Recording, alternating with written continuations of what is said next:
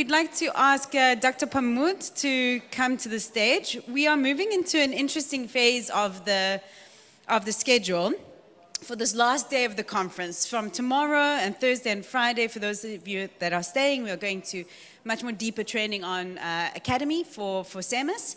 Um, but for this last session after lunch, before we break for the day, we're looking at ownership, capacity, and sustainability, but also about how research informs implementation, uptake, and scale. So we've been talking a lot about the digital platform ecosystem that not just includes software and the technology, but also the people and, and partnerships that we have around us.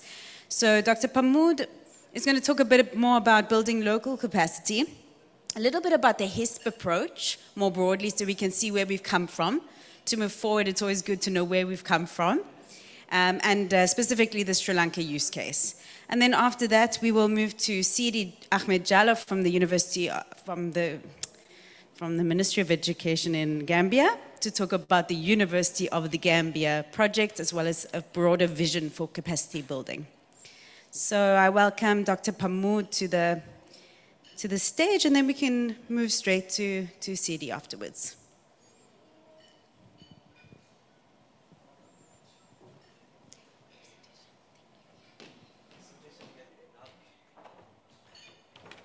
Ah, right.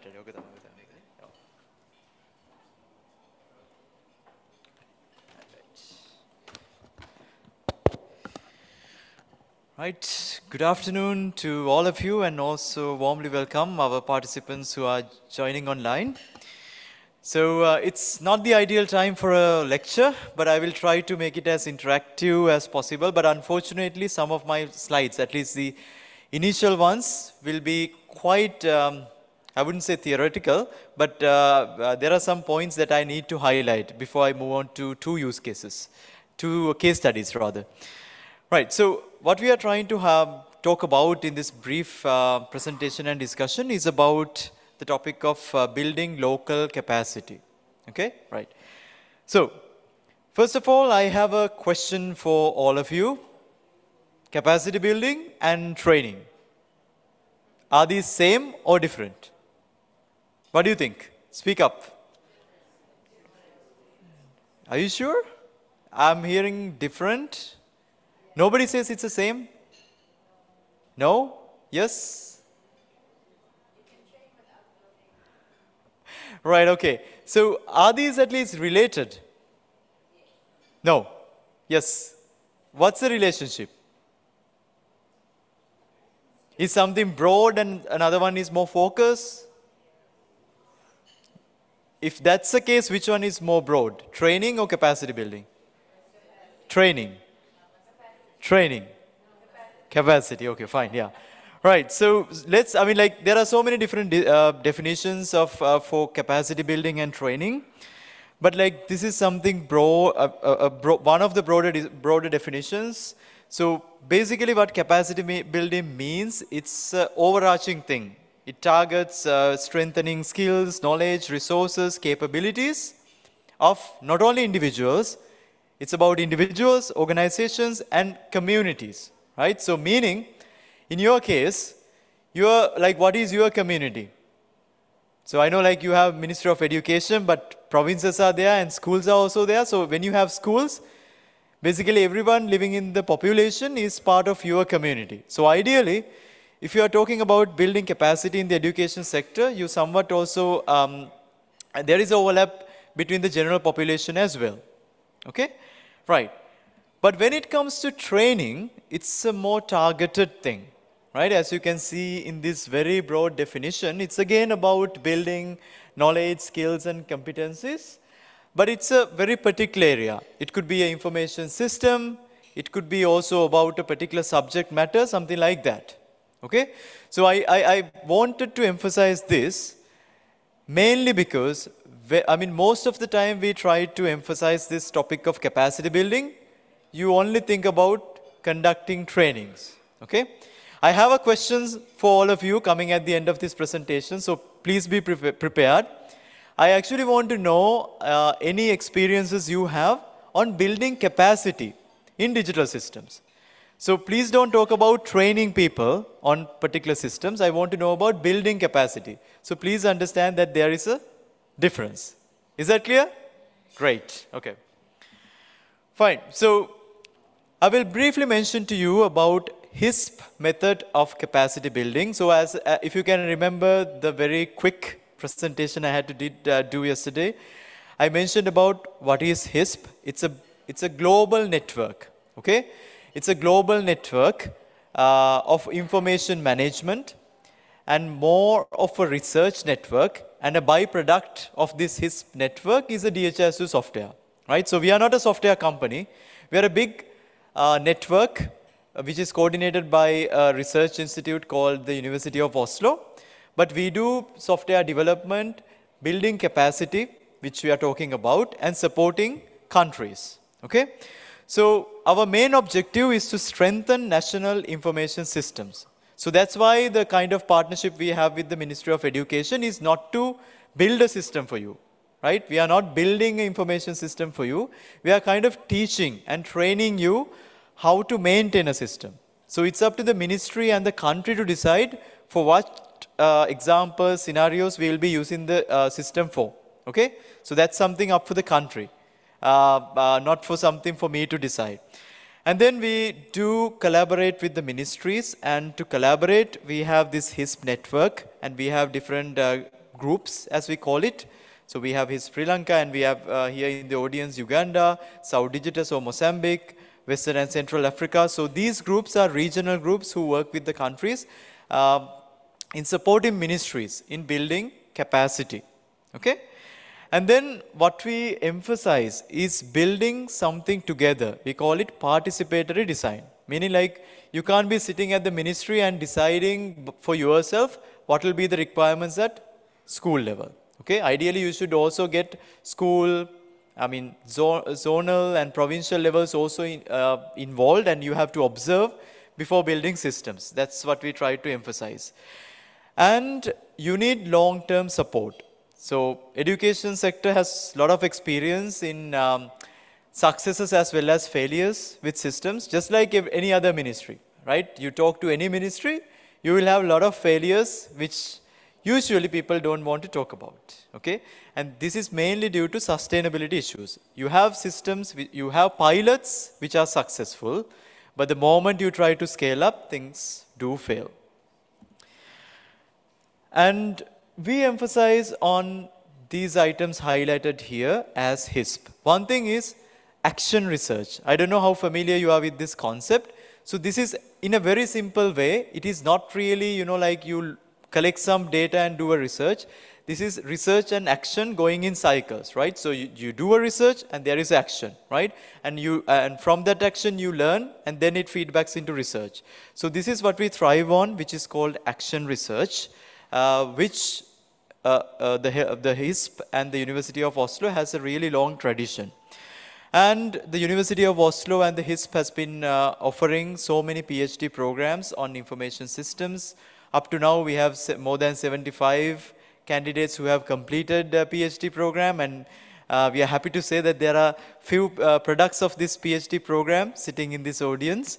Uh, and there are also master's program conducted by the University of Oslo as well as in collaboration with other countries. So for example, you have master's program here in Sri Lanka as well, uh, which started with a collaboration of the University of Oslo. So likewise, these collaborations is what we are promoting so that countries can really thrive on building their local capacity. Right. So with all this research approach, generally when we talk about research, we talk about publishing papers, right? So it is not about that you have to even bring this uh, knowledge into the countries and you have to focus on dissemination and based on that you have to innovate.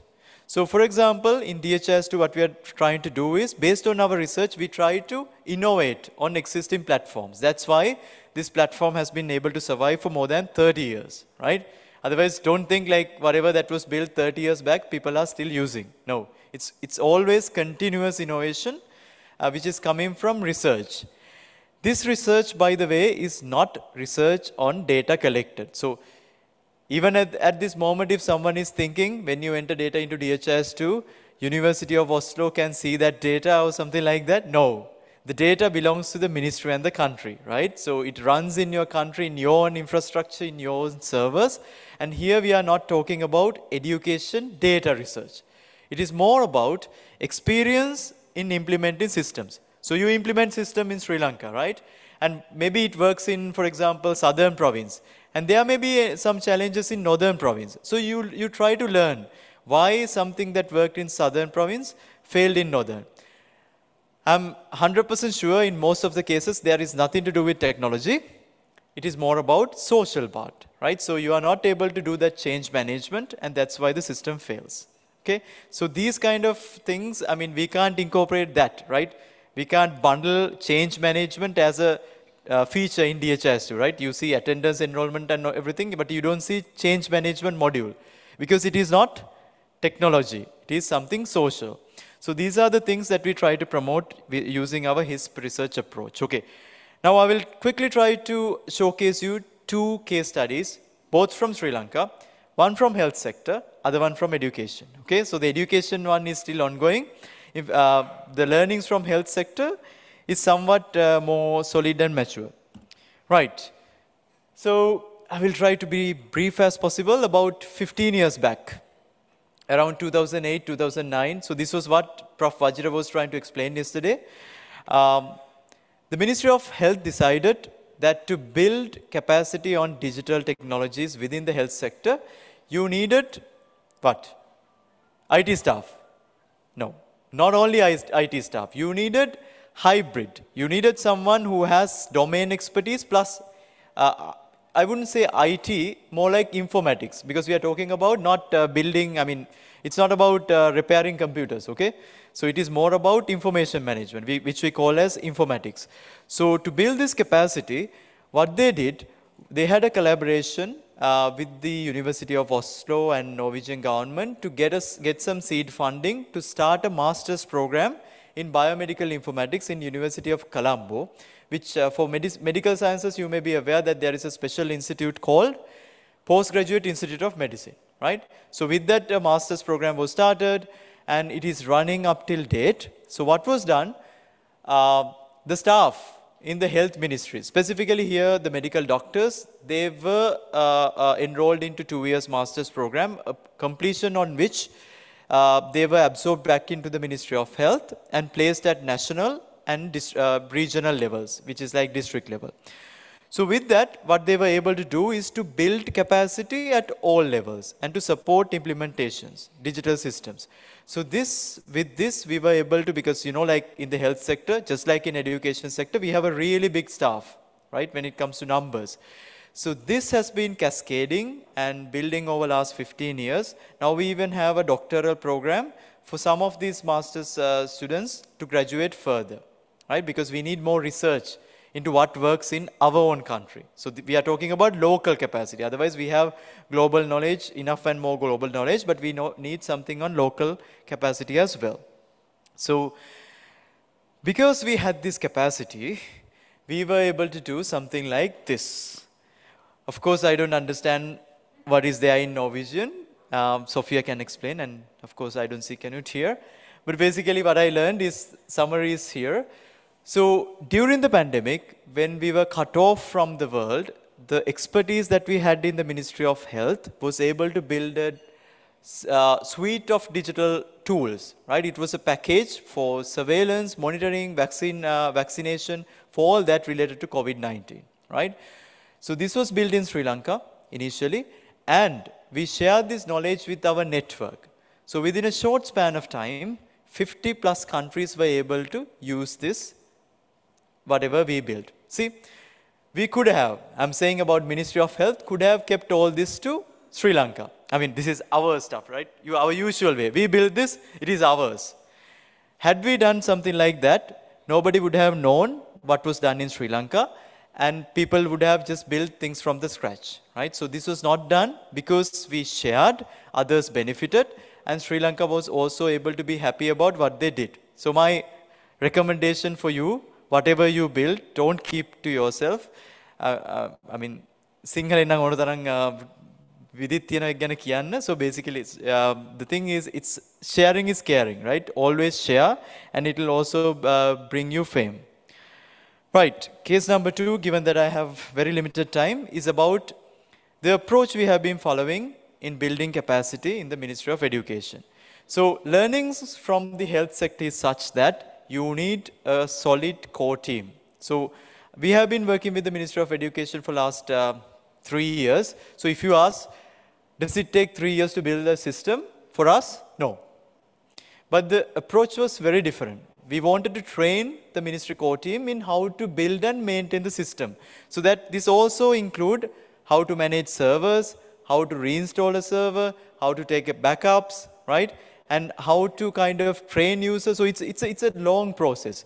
So this we have been doing, and what you are seeing is uh, one of the trainings that we conducted on site uh, towards the latter part of pandemic, Prabhat, like, if I'm correct, I can't remember when this was. Yeah.